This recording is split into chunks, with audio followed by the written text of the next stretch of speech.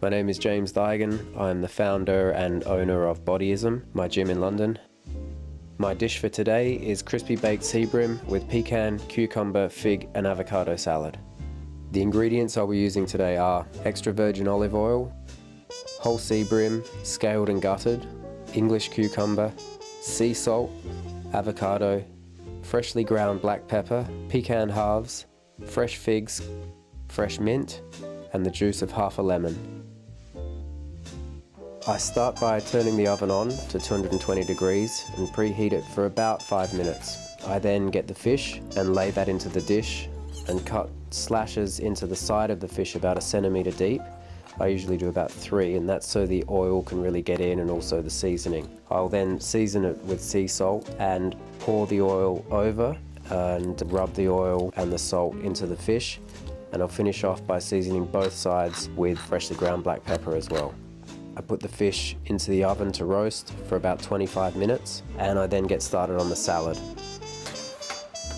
I get the English cucumber and I roughly chop it into chunks.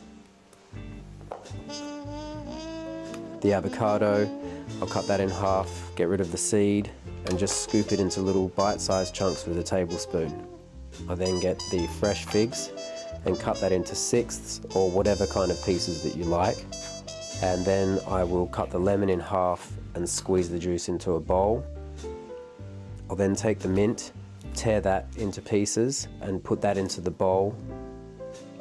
And then at the very last minute, so they don't get too soggy, I grab a couple of handfuls of pecans and sprinkle that through the salad. Again, season it to taste with some salt and pepper and then just mix it all around with my hands.